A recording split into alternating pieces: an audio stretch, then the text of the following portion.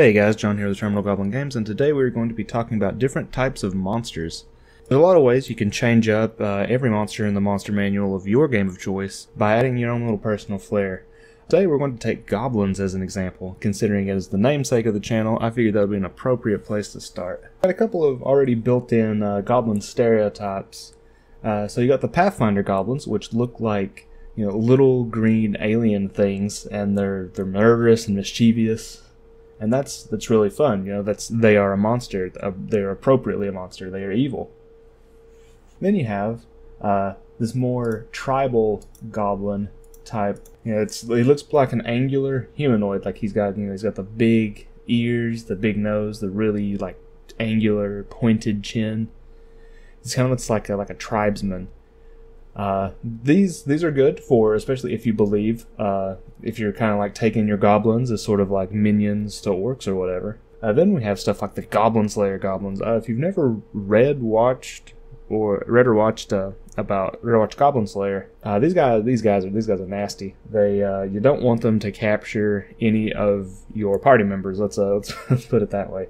And these guys are they're kind of like Pathfinder goblins in which they're just like pure evil except they're also like just tiny or not tiny they're like short. Uh, they're short and stupid and very savage. And then there, there's a there's another type of goblin that uh, we're not we're not gonna, we're not going to talk about here today.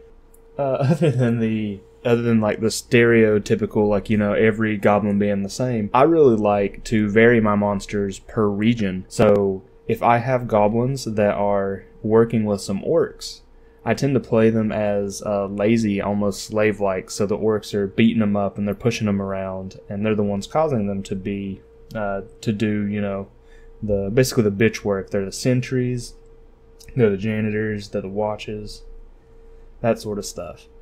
Uh, and if the goblins are the are their own thing, like if it's just a standalone tribe of goblins, then I tend to go with the tribal ones that are uh, just malicious, uh, malicious little bastards not not quite to the level of Goblin Slayer because we don't uh, we don't do that kind of stuff at my table. And then you have uh, I also run goblins if they're with other uh, goblinoids. So if they are uh, if you know maybe there's some hobgoblins nearby or some some bugbears and stuff like that. Uh, I mean, goblins that are they're at the bottom of the totem pole. They're they're tiny guys. They're small. They're they want to get pushed around a lot, and it's it's almost the same as uh, as the orcs, where they they get they get given all the crap jobs. Except I usually have them work better with other goblinoids. Uh, you know, I also I also tend to to vary how the how the goblins look. If they're working with orcs and or if I'm running them as like being baby orcs almost. Well, not not baby orcs. That raises a raises a lot of questions I don't want to answer. If I'm running them as like they will grow up to be orcs if left alone, uh, then I tend to have them look more like orcs. They look like uh, little pigs because I, I, like pig orcs. Uh, not a you know the the green the green orcs are cool and all, but I, I really like the pig orcs, the like pig men because it, it really shows the the animalistic and evil nature of orcs. At least the way I view them. Uh, actually, we'll, we'll talk about. Let's also talk about kobolds. That way, this isn't a super short video here. Uh, you got two classic types of kobold. You got your reptiles and you have your dog kobolds. Uh, again, I tend to use both. One of my players uh, in the my player group that I make the dungeons on uh, dungeon design videos on, uh, they actually befriended two tribes of kobolds. Well, befriended as in they gave them food and didn't kill them. That's uh, that's close enough to friends for kobolds. They one is like dogs, and the others are more like lizards. Uh, I have the reptilian ones uh, have the ability to use magic, or if they study for it. Uh, they're also a little bit smarter, and they all share a language. Uh, just they just speak Kobold, and one of my players is trying to run, learn uh, Kobold. Uh, right now, he's he's working on Common Bold. he kind of speaks a little bit a little bit of Kobold, but mainly still Common and I have the I have the dogs be more like straight up warriors. Like they're they're the ones that's going they're going to be charging in and you know fighting people with uh, with spears and slings. Whereas the reptiles, they're they're more they're more of the trap laying kobolds. The dogs do it too, but uh, a little little less so, a little less clever.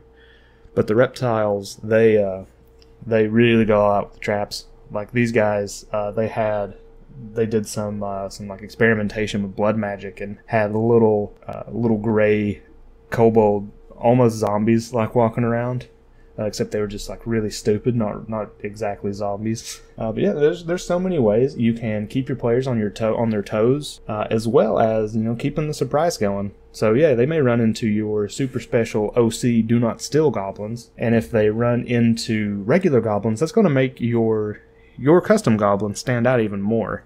Uh, because you know tropes are uh, tropes are a very important thing, especially in gaming, because that gives everyone a standard line of, uh, of what to expect. And the fun can come with subtly moving that line up and down. You know, maybe you'll have a group of goblins that speak uh, speak common, and you know they're smart enough to like lie to the players. Maybe get them to let their guard down. Like, oh, okay, this um this uh this kobold net this goblin nest isn't that bad. You know, this they're probably you know they probably just want food and stuff. And then you have the goblins uh, betray them while they're discussing all this. Yeah, there's a there's a lot of ways, a lot of things you can do to spice up uh, common monsters, uh, even abilities wise.